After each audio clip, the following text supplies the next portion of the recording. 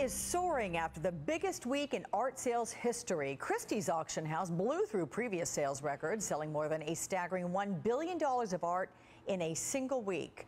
This Picasso Women of Algiers version O that smashed another world record for artwork at auction, fetching $179 million. And here to discuss this huge moment in art world history is Judd Tully, editor at large of Art and Auction magazine. First of all, how excited were you this week, Judd?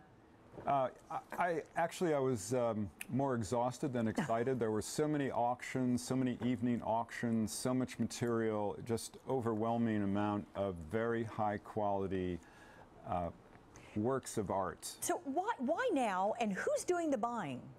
Ah, well, it's an international clientele, um, global, Asia, Europe, the United States everywhere that billionaires are living or not living and um, buying these trophy works.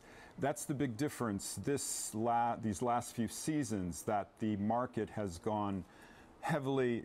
There's huge buying from Asia, from China in particular, uh, the Gulf states. I mean, it's it's it's a it's a global um, acquisition pool right now. Which piece of artworks that sold this last week do you consider the most valuable, and was it potentially undersold or oversold? I mean, is the price just right?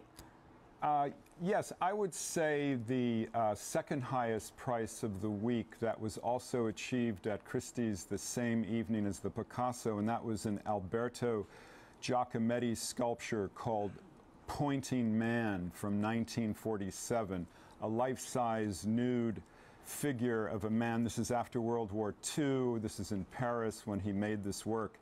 And um, that sold for, um, the hammer price was I think 126 million before mm. the premium was added.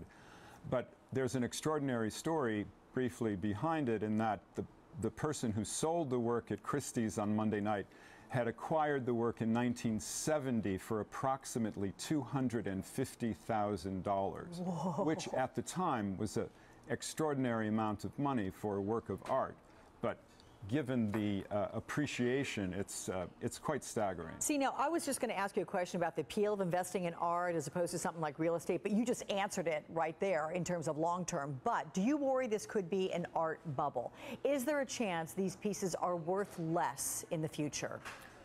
Well, I mean, it would at the lower level, say you know, under a million dollars, that's considered lower level these days. Uh, the people that are buying them on speculation, especially the younger artists that you know pop up every season. It's it's just uh, it's like the stock, uh, you know, penny trading speculation.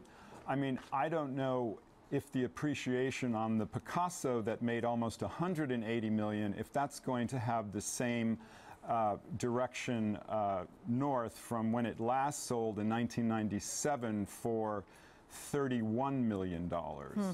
Do you at all worry, though, this is going to have a negative effect on public museums or, or, or the like, because a lot of these pieces may just go to well-lit corners in some mansion somewhere?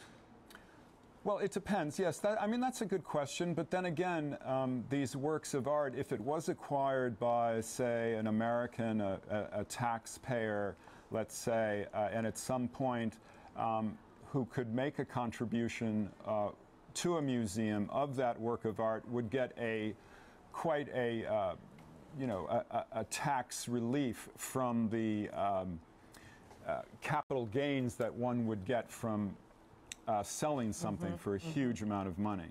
Yeah, you make a good point. At least they can give it on loan, as many exactly. art collectors do, and that certainly is appreciated by those of us who love the art world. Thank you so much. Appreciate your time, Judd Tully. Thanks. Thank